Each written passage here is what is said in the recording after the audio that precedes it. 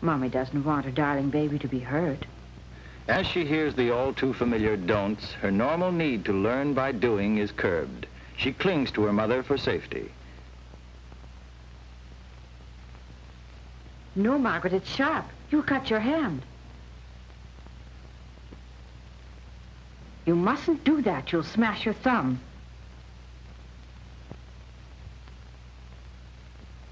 Margaret, how many times must I tell you not to climb? You could fall and break a leg. Darling, those are sharp scissors. You'll cut off your fingers.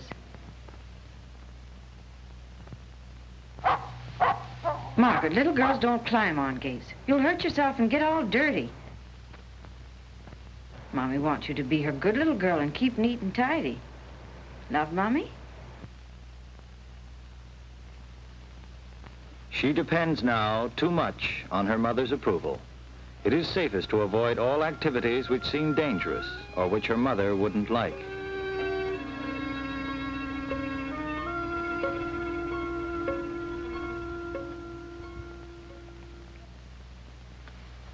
A little sister. Now mother's affections must be shared.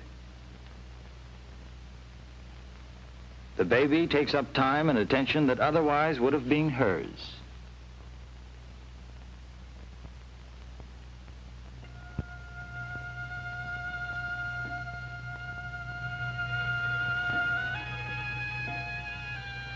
When she feels insecure, she seeks protection. But too often, she chooses awkward moments to ask for it.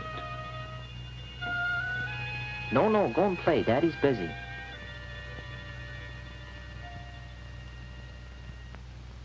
Can't you come and get this child?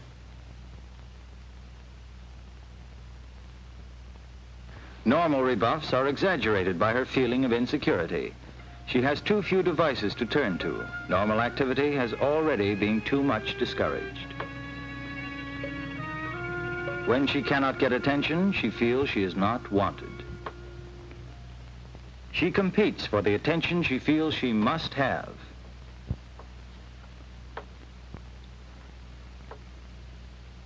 Look, Mama, Daddy, I'm dead.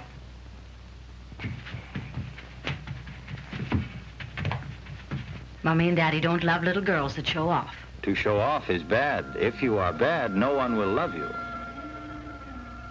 She tries other ways, creative ways, to get attention and affection, but finds no encouragement. What is it? A little girl in two bears. I've never seen a bear that looks like that.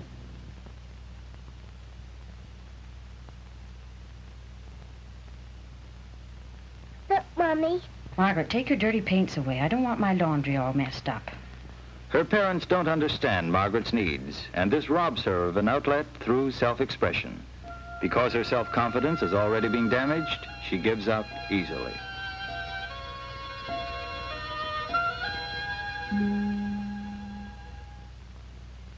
Can't you look after this child? Look after yourself. I'm busy.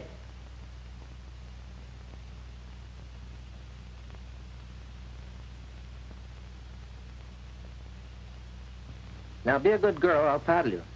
She learns to be a good girl, to do what she is told. This gains her very little, but she runs no risk of losing approval. Margaret's parents are not unusual. Parents who are fond of their children can still discourage them from growing up active and competent. You've been a good girl.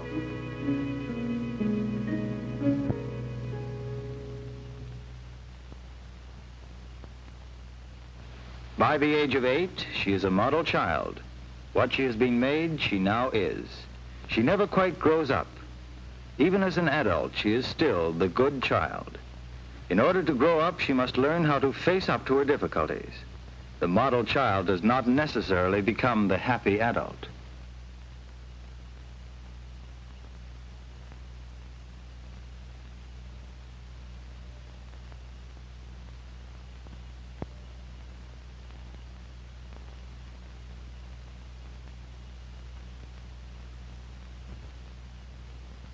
She's a good girl. Mm.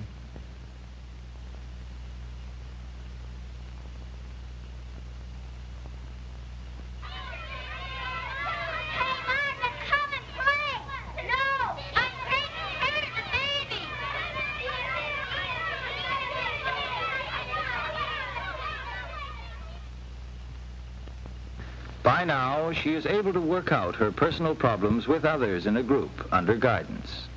In this understanding environment, Margaret finds that she is not alone with her difficulties. She feels that she belongs. She is no longer so afraid to express her real feelings and to assert herself. walking shoe and yet a very dressy shoe. I have your size in this. She is not by the crippling ties of childhood. Take this one, Margaret.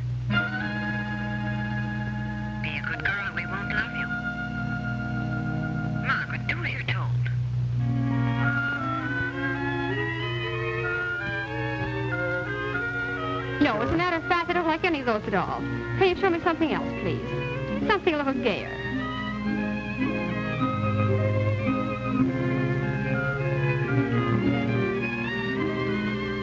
With new understanding, headaches bother her less. Having fewer conflicts, she has fewer symptoms.